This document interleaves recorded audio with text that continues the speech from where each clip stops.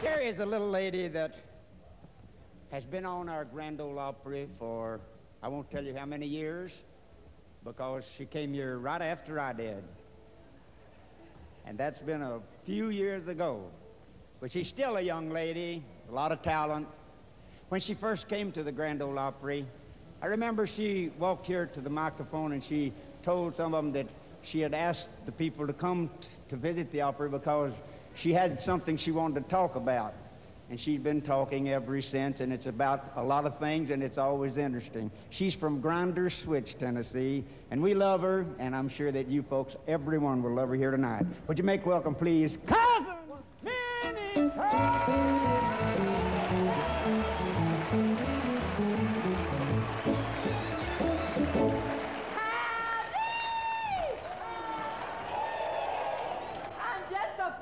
here. I'll tell you right now, I come in there tonight and there was two nice looking fellers standing there, and one of them said to the other, and he said, I believe that's the ugliest woman I ever seen.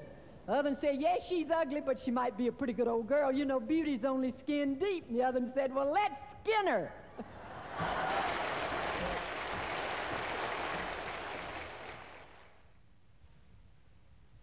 As I sit here on the stage of the Opry and look around this empty auditorium, I have the feeling that I would never be alone, ever, in this building. This building is peopled with so many memories and all the, all the marvelous years since that first night, 1940, when I came on the stage. 27 years I did one-nighters. 27 long years. And uh, the first seven of them in automobiles with retread tires during World War II. I remember one time we had 13 flat tires in one night driving 600 miles. And Pee Wee King, on that 13th one, whew, he was ready to throw the tire jack through the windshield, and we had to stop him. I'll never forget it. but it was a marvelous experience. But every Saturday night, we'd be back here.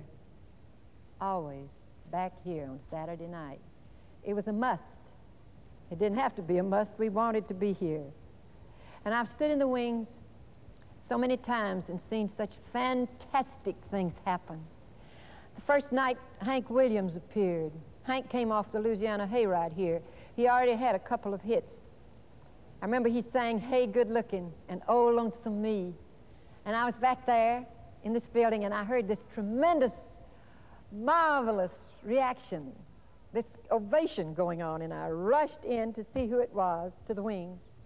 And there was this long, tall, lanky, marvelous performer, Hank Williams, singing. What a great performer. Nobody could follow him. I tried it one night in Great Bend, Kansas, before he came on the Opry. I vowed then I'd never try to follow him again. We have several like that I don't want to follow. And then Jim Reeves, Red Foley. So many of these people are gone, but they'll never be gone. Because to live forever in the hearts of our friends is never to die. I'm going to sing. Let's sing Jealous Hearted Me, fellas.